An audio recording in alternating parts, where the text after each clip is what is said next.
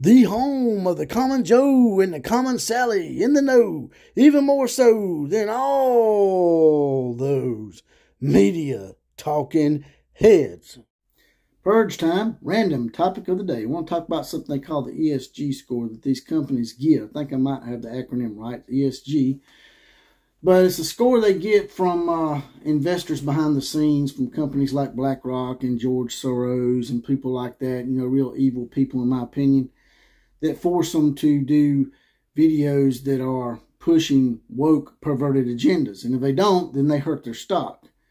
Well, I thought to myself, maybe they are intentionally making these these once associated with American, this the American fabric and the American way kind of companies uh, I know Budweiser and Kellogg and Target and all them are internationally owned and invested in now, but they're associated with the American way. And, and what better way to tear down the American fabric than to uh, hurt some of the companies that have been associated with American society for ages? And our protesting abilities, they, as you have seen from people that adhere to a more morally correct way of life, costs people billions of dollars. And so I think they're making these companies do that because they want to sink these companies so they can put other companies in place that they want to run society. Just a little something that I thought about. Maybe they're using our protesting abilities against us. Now, today's topic of the day is going to be Williams Nwaneri, a recruit, a five-star recruit from a defensive lineman from Missouri that committed to Missouri but there may be some sort of shadiness or some stuff about it that may not sit well with a lot of people. Maybe not. Y'all can give me your opinion. But let's talk about it.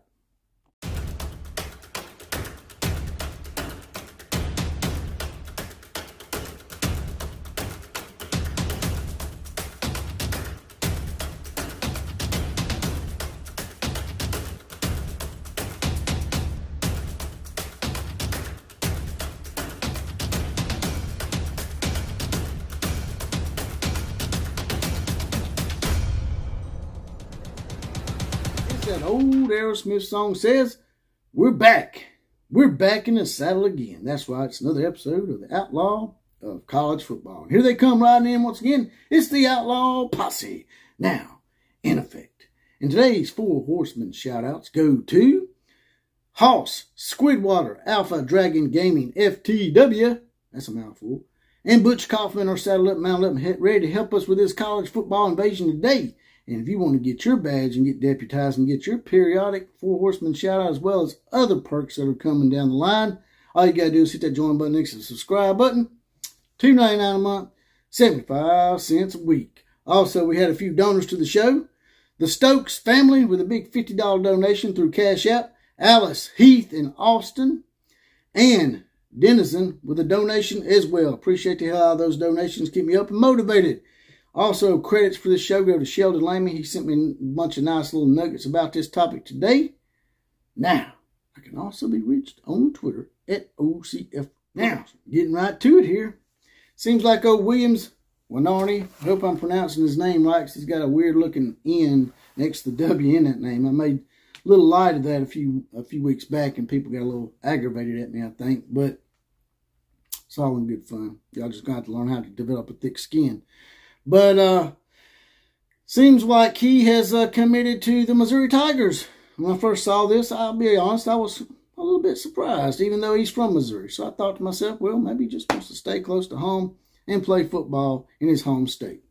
But then, uh, like I said, my boy Sheldon Lamy, he uh, gave me some information that um, maybe this wasn't the case. Maybe it wasn't that he wanted to stay close to home, because from what I'm understanding, uh, him and his family are actually from Africa.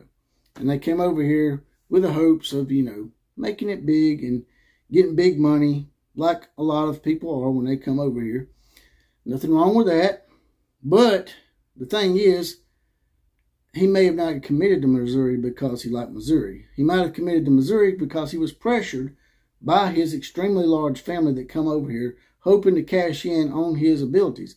I just think it's highly unfair put all these this pressure on these young athletes, man. But it happens all the time. You see it all the time with these relatives who you think have the best interest at heart for these these young athletes. I mean, you would think, you know, them being related and everything, that that meant something. But I'll be honest with you, throughout the history of my life, I've learned that sometimes uh, people that you're related to sometimes treat you a lot worse than people that you're not related to. It just comes down to who's good people and who ain't. And sometimes their relatives are not very good people. And they don't have their best interests at heart. All they want is that money. And they want that money right now because of the the law that they have in the state of Missouri, and I think in California as well, where they can uh, pay these high school seniors to stay in state and keep them from going out of state to other schools by giving them some kind of concocted NIL deal or something. I don't even know if it's really related to NIL. I think uh, they're just, like I said, they're just doing it to try to keep other teams from coming in state and taking their money. And these relatives of this young man, they see the big money now. They don't care, or they're not educated enough to know that he probably needs to go to a program where he's comfortable, first of all, and second of all, where he can get developed to be maybe an NFL player like they're wanting him to be. Because if he goes to the wrong program, he doesn't get developed properly, he's not even going to make it to the NFL. And that money that you got now, it's a nice little chunk of change, but it's not going to it's not going to suffice for the rest of your life or his. I just I just think it's extremely unfair. Uh, California's doing it as well. You know, it's something I think Linky Boy and them really enjoy because they think it'll help them build a wall around California and keep players in state. Hell, you can't even build a wall around that shit style called Los Angeles. But I won't stray onto that today. And he may have actually really wanted to play for Missouri. He may have wanted to stay close to home. He committed to Missouri over uh, teams like uh, Alabama and Oklahoma and USC. All those teams were vying for his services, and he chose Missouri. But the thing is, they're paying these players before they ever prove anything. I mean, I've never seen anybody come into a company. Now, there's there's extenuating circumstances where it could happen, but you come into a big time company like Exxon or somewhere like that, and straight out of college, you don't usually make a CEO salary, even if you're the top of your class. You don't go into a law firm making partner just because you were high in, in your class at Harvard.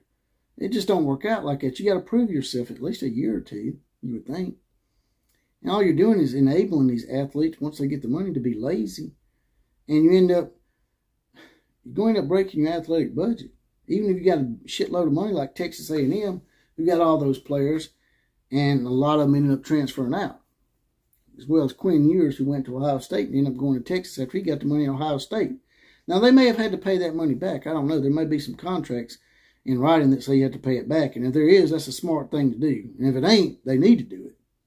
But the NCAA, who's always dragging their feet and paying attention to the wrong shit all the time, and they need to be done away with, in my opinion. We need a new governing body. They need to come in and do something constructive for a change and say, hey, look, you cannot get NIL money until you have merited that money. We're not trying to keep you from earning money, so don't try to do no lawsuit. You just need to come in and prove yourself through your freshman year, which be, could be it could be considered like a uh, internship at a major company, come in in your freshman year and prove yourself. And then your sophomore year, if you are great and you can show that you're great and people graded you as great, then you're going to get a great NIL type deal. But you know, it's just something that makes too much sense. You want all you got is these these idiotic relatives out here that are ruining these kids. It just ain't fair. And if you're one of those relatives listening to this show, you need to really think about what you're doing to your kid, man. I know they're not a kid they're a young man, but they're still very impressionable, even though they're not really kids anymore. But that's all I got to say about that. Like, share, comment, and subscribe to this channel. As I said before, you can join the Outlaw Posse if you want to. Get your badge, get deputized, get your periodic Four Horsemen shout out, as well as other perks that are to come. Also, got a cash app I'm going to drop in the description section. It's uh, money sign JPC316. And with that, I'm out of here. KMCA to all the other teams. Class is now officially dismissed.